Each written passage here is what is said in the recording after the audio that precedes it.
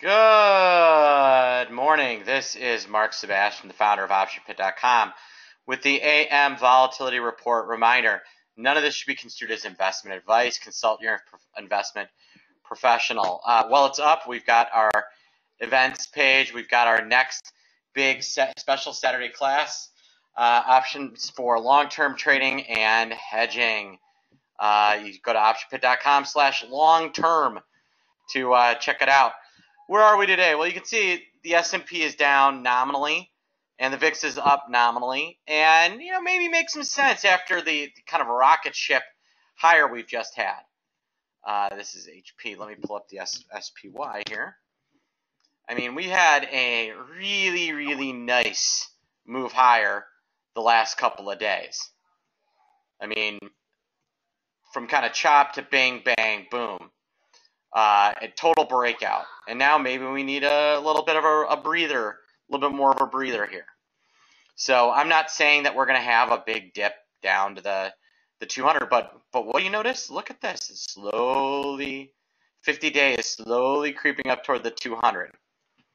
All right, and if you look at VIX, and I know that you don't use technical analysis on VIX, but the 50 day is now below the 200 day moving average. So there is definitely a return of calmness to the market and uh, a change. And I think you know that's if you look, oil's kind of doing that a little bit.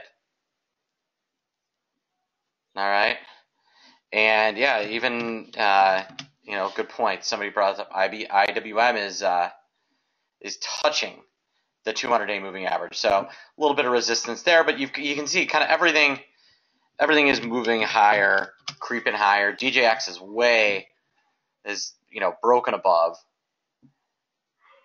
All right, and it's 50 days going to get there soon, and NDX too. So I, I think we're in line here for you know maybe a breather day here. I don't think you're talking about a 20 or a 30 or 40 point sell off. I think you're talking about less than less than nine if there is a sell off. So I'm not a am uh, not a huge believer in a lot of fear and a lot of craziness. Um, and you know, I just don't see it. Gold's off a little bit. It's been a little softer. You can see bonds are a little up today. Uh, the financials continue to do well. We had, uh, I think we had uh, we had somebody out today. Um, no, it wasn't Goldman. One of these guys. And uh, and uh, you know that oh Wells Fargo, that's who.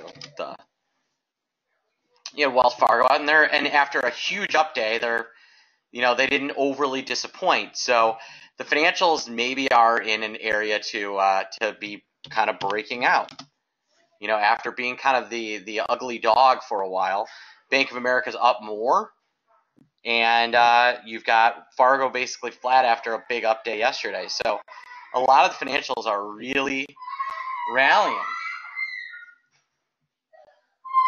And uh, you know that's a big thing to be aware of. Um, transports. Look at look at the transports today. AAL, Delta, and uh, and you know names like Expedia.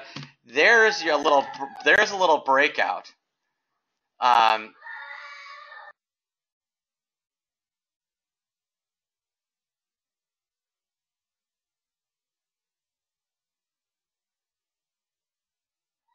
So you've got Google kind of flopping or flying around, but the transports have really broken out and that's been a uh, a big piece. Is that uh, you know that they've been kind of this, the the low, kind of the the ugly duckling, uh, and they've since breaking out Delta, AAL, even UAL, which can kind of stink. But uh, then if you look at Priceline, you know it's had a rough couple of weeks, and uh, nice little recovery for for PCLN and uh, Expedia, maybe uh, maybe we finally get that move higher in Expedia that I've been looking for. Um, you know, maybe it finally makes a run back toward that 200 after uh, really just an ugly couple of weeks when I thought it was going to rally. All right, folks. Uh, on that note, I uh, hope everybody has a great day. You can email me, marketoptionpit.com, with questions. You can call me at 88 trade 01 and I will talk to you soon.